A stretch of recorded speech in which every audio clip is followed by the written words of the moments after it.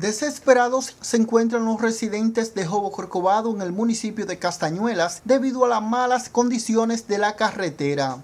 La vía que va desde Lomas de Castañuelas pasando por Jobo Corcovado, Boyo Viejo y finalizando en el pueblo de Villanueva tiene algunos 18 kilómetros. Sin embargo, debido a las malas condiciones en que se encuentra la carretera, transitarla se convierte en una pesadilla para los moradores. Pero unido a este problema se agrega el desplome de la producción agrícola, ya que ha disminuido drásticamente en vista de que los vehículos de carga no pueden penetrar a buscar los productos. Aquí hay un promedio de 30 mil tareas y pico de, que se siembran de arroz, 10 mil tareas que se siembran de banano.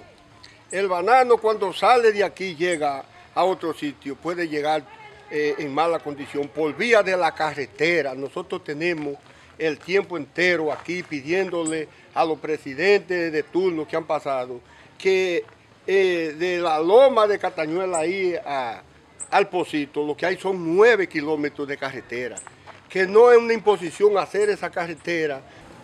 Porque somos productores, aunque pequeños productores bananeros, nos afecta bastante porque realmente nosotros por más que nos preocupamos en la producción de calidad, cuando llegamos cuando la fruta llega al muelle ya no hay calidad.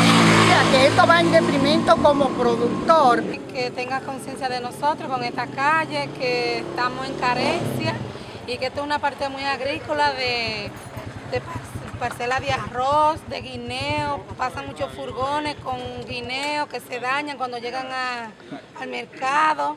Esa carretera es hoyo, eso, eso es un derrumbadero. Hoyo hoyo hoyo, que yo quisiera que trajeran a Danilo Medina en un motor aquí, para que él vea lo males que tiene esta calle. Pese al potencial agrícola que impera en estas comunidades, esta carretera lleva más de 50 años abandonada. Lugareños comentaron que si las autoridades no hacen nada para mejorar las condiciones de vida de estos sectores, enclavada en la provincia de Montecristi, realizarán protestas escalonadas, así puntualizó Facundo Vázquez, productor agrícola de la zona. Que por favor, que vengan auxilio de nosotros, que no aguantamos más, y vamos a darle un chance de 15 días y si no vienen, que se preparen, que vamos a aprender todo esto. Desde Jobo Corcovado, en el municipio de Castañuelas, para José Gutiérrez, yo soy Onelio Domínguez.